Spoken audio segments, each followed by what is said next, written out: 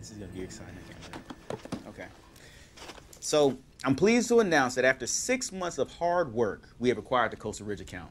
Has the decision been made as to who's handling their account? On the account, yes. But I'm not ready to announce that here. A decision still needs to be made as to who will be the principal broker.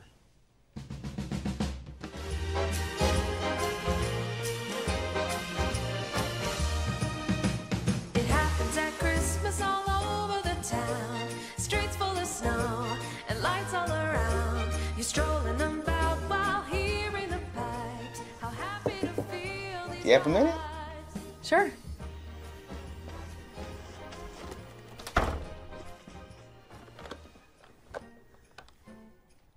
I'm giving you the Coastal Ridge deal.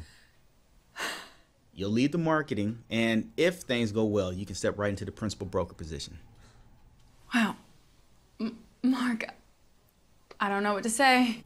Our first meeting with the client is on Monday, so I'm gonna need you to go through the due diligence and make sure everything is fine before then. You didn't have any plans this weekend, did you? If I did, they'd be canceled. That's what I like to hear. Congratulations. Thank you. You own a house where? It's called Weston. I inherited it from my grandmother. And you don't have any family that can take care of it? No, my grandma raised me after my parents died. Abby, this is the biggest account that we've ever had.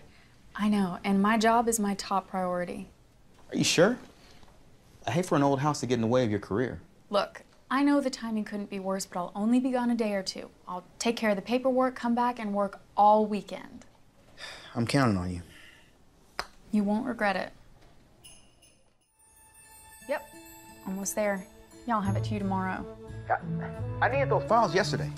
I know, and I'm sorry. The storm threw a wrench in things, but I'm back on track, and I should be back day after tomorrow. Why don't you have any Christmas decorations? Give me a sec, okay? Look, look, I, I have another call. I- I need those files by 8 a.m. tomorrow. Okay. I'm so sorry, Mark.